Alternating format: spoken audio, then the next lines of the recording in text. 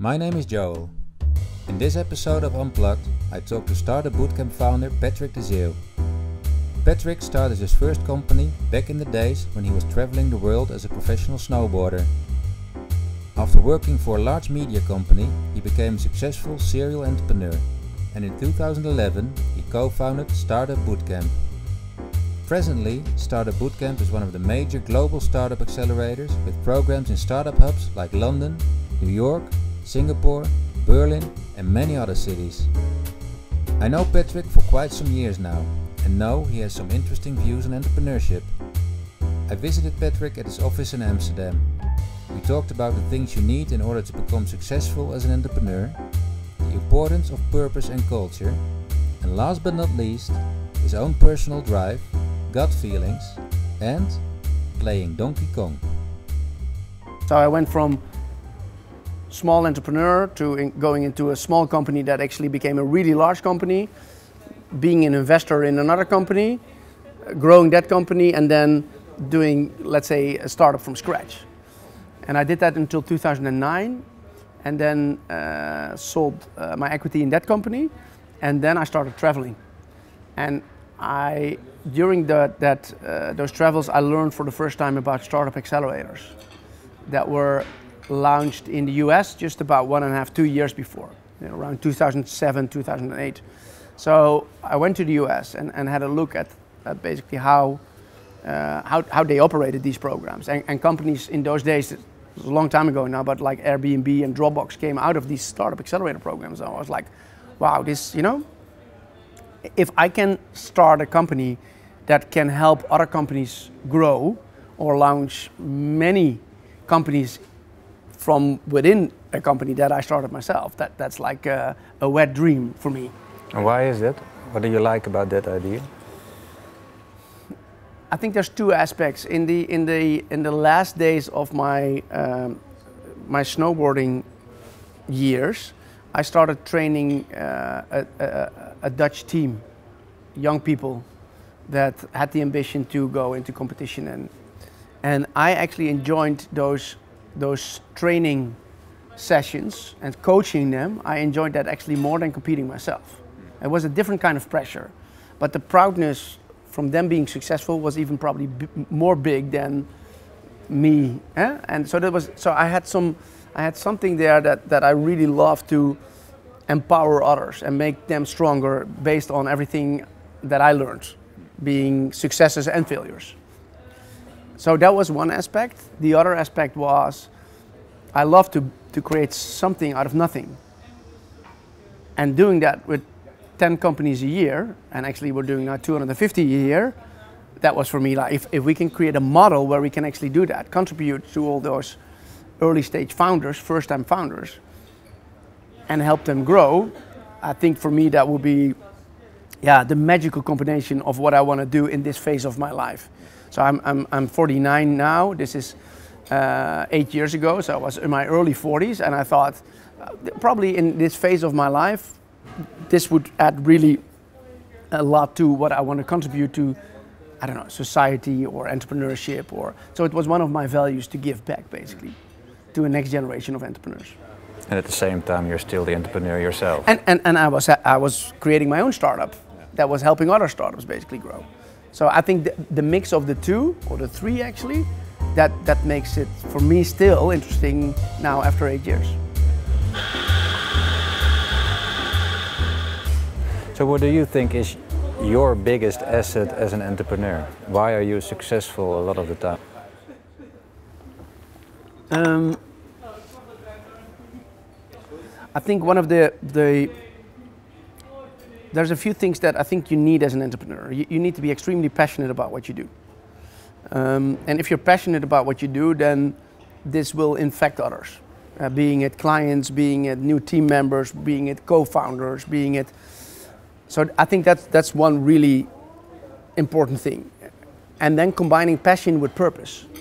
If you're not only really passionate about it, but also are able to add purpose to it, and bring that purpose across to others that also have a certain purpose, then suddenly one and one becomes maybe not even three, but 11. So I think that's an, let's say, energy, passion, purpose that, in that domain that's a really important thing. I think the other thing is um, not trying to overanalyze or over rationalize your decision making process. If my gut feeling says at a certain moment, this feels as something I need to do, then I also just trust it. You know, when I, when I first heard about these accelerator programs, I was so excited. I, knew this was the thing that I was going to be doing the next 10 years. I couldn't even describe it. Why? I, you know, I had a hard time sleeping. I was so, I, I, this needed to happen. I couldn't even explain why. And if you, if you bring that across, then again, it affects others. But on the other hand, if you over rationalize things and you think things too much through, you start thinking about what the risk maybe is or what the things are that might go wrong. And I learned not to think about these things because they will go wrong. They will, uh, but I know by now that, you know, I can deal with these things that go wrong. If you have the right people around you, if you have the right skills, if you, if you just stay put, then you can solve any problem. I know by now that almost any problem on a business sense, you know, if you get ill or whatever, obviously, then you have other people hopefully taking care of you. But on the business side, I know by now, I've seen all the problems, I think, with all the startups, with all the businesses that I've done. And I know if you just take a step back and have a look at it, maybe with some fun, you will be able to solve any problem that you encounter. So no, not overanalyzing things from the beginning. I think that's really important. Um, another thing which I think has helped me a lot is making sure that you are able to gather around people around you, which relates again to first topic, which is passion, purpose. Um, you know, building building a company is very much about not only building a business but also building a culture within a company. And I've learned the hard way myself. If, if you don't get the culture within a company right, your company will never fly. It will fail sooner or later. And I've, I think one of the things that I'm, I'm good at, also related to passion and purpose, is making sure that we gather the right people around our team that are aligned on the culture, on the, on the, the purpose, on the, on the passion, and we all point in the same direction. Eventually, whatever business you're in, it's, it's created mostly by people until at least until today. You know, maybe we'll have artificial intelligence going forward, creating the businesses for us. But you know, it's still people that need to code that. So I think you know those those are the main ele elements. How do you create a culture? It's my experience that the founders create the culture. Um, people that you eventually hire you, you, you, try to select them based on your values and, and, and the culture that you, you want to establish, rationally or uh, irrationally, but you, you try to gather people around you that are there for the same purpose. And then people start copying basically what you do. Uh, and that happens very fast. If I give the, if I give the, let me give you an example. We, we have at, at Startupbootcamp in Leaps and the Talent Institute four values. One is being entrepreneurial, which means that we make decisions really fast. We don't mind if people make mistakes. I make mistakes all the time, as long as you don't make the same mistake two or three times, because then, then it's not smart. Um, it means that we take risks. It means that we use facts, but also listen to our gut feeling, and we give people freedom. If I bring that to my team, saying, you know, if we don't make mistakes, that means that we're not being entrepreneurial enough. So I want you to take risk. If I start pushing that to my team or bringing that message, then well, people will start doing that. So culture is not a message on the wall. It's actually my behavior, which is eventually being either adopted uh, by the team or not. If they don't adopt it, eventually there's probably not a cultural fit. Another example is um, of the value that we have is learning desire.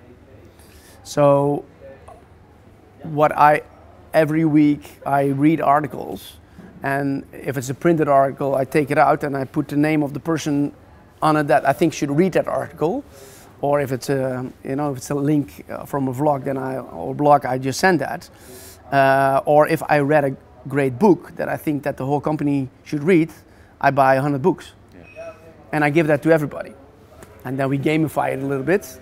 Yeah, so we, to make sure that everybody sort of like reads it or understands the knowledge that is in there. So we have a competition or people need to present to each other the content and that works really well. Um, but by giving these examples, you see that other people also start sharing articles or you know and just we have a great young leader who's only 23 who leads our design team. He started buying books for his team of six designers. And i'm not saying it's because i gave that example but i'm quite sure that when he joined the company four years ago and i gave him the first book that i thought he should read he thought well that's pretty cool that patrick tries to inspire me so i think you know again it's it's it's, it's built by the founders uh, the, the, founders create the nurture, uh, the, create the culture, and, and they should also have the responsibility to nurse the culture um, very intensively. That means that you have to be very selective on who you bring on board and who you don't. And especially if you're at a small team, let's say you're maybe 8 to 15 people, adding one person to the team that doesn't fit to the culture will have an immediate effect. If you're 400 people, it still has a potential effect, yeah, but, but the, the effect is maybe a little bit smaller. But especially on the leadership team, I think if you if you sometimes we I still make the mistake in bringing the wrong leaders on board, and you see immediately how the company is responding. So then either you have to change somebody in your leadership team, or you need to make sure that the other person is coached, that he understands the, the, the values.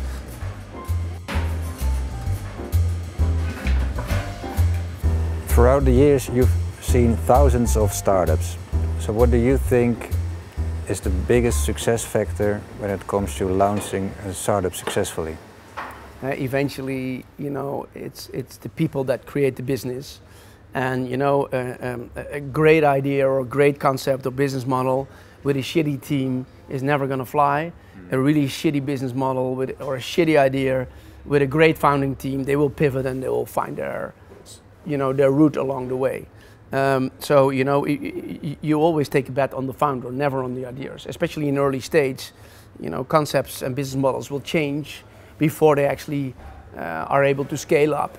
And you know that that means that there needs to be a balanced team, and that doesn't mean that they have to be all the same. No, they should be very different. I would say different skills, pr probably even different personalities, uh, but should be able to work really well together. So I would say the, the most important elements are team and timing. And then timing is, you know, uh, too early, too late in the market, spot on on the market. It has to is related to product market fit, which has to do with timing. You know, oh, does the business model fit in, you know, uh, the, the, the, pace of where the economy is going into or the needs of customers? So I, there's two reasons why startups fail. There's either no product market fit, which could be related to the business model, timing, all those things, or it's uh, team mismatch or team conflicts. Those are the two reasons that startups and even established companies, you know, they fail. Yeah. How do you look at purpose-driven entrepreneurs who uh, have a big passion for what they do? They have a business model. You believe in the, the concept of entrepreneur, but then they have to pivot maybe a few times. Yeah. And the concept is maybe because of pragmatic reasons, not in not aligned with their purpose anymore. Yeah. Does it happen? Uh, yes, it does happen, and then and then it mostly is not. It's not going to fly. It's going to die. I, I, yeah, I think if the, you know, the, the, the hurdles that you have to take to build a successful company are quite big. Mm. You know, it's no straight line to success. There's many dips and maybe a few spikes.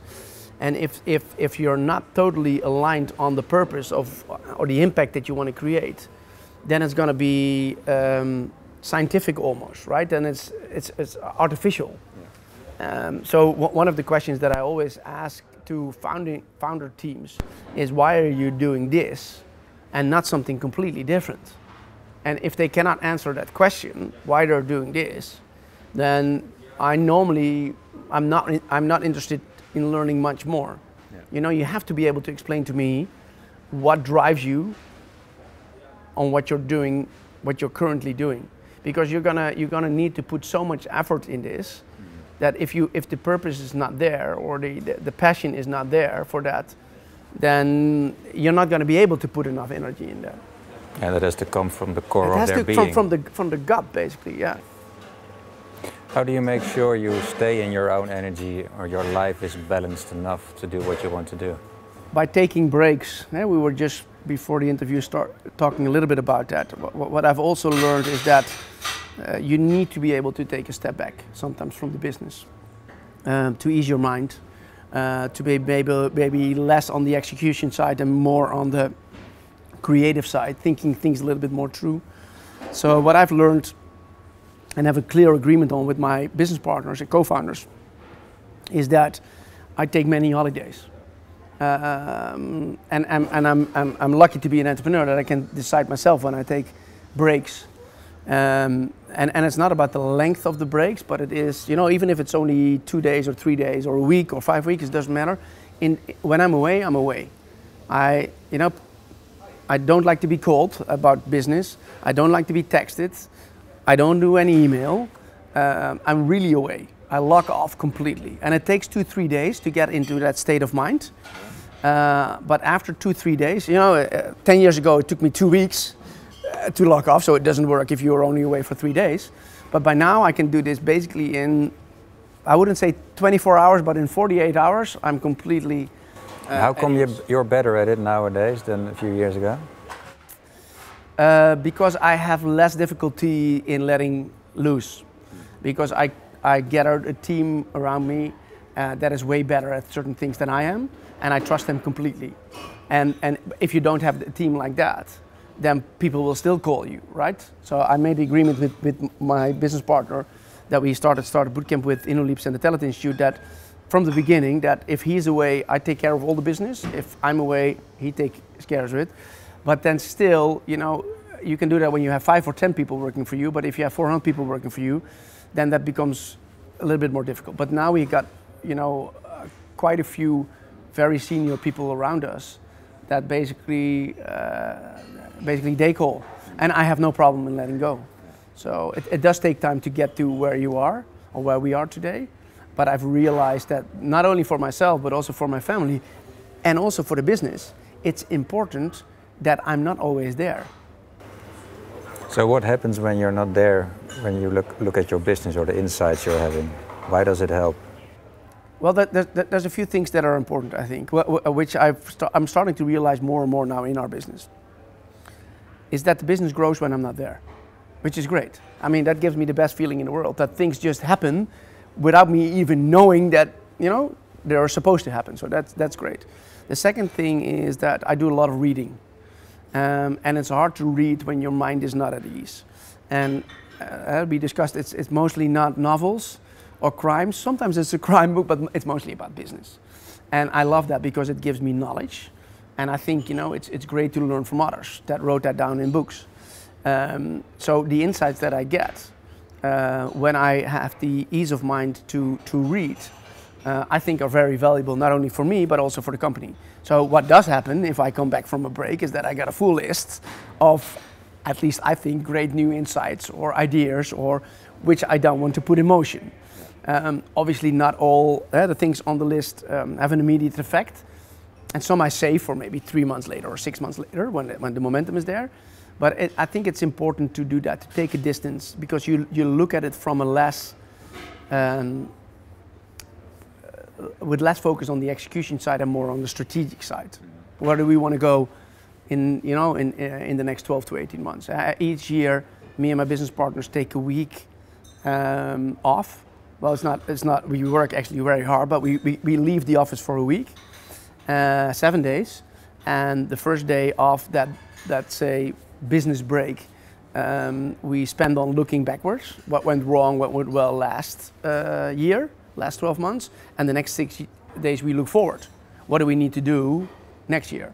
And who's going to take the lead on that? And we've been doing this now for five years, and this is, this is just great, looking at it from a distance.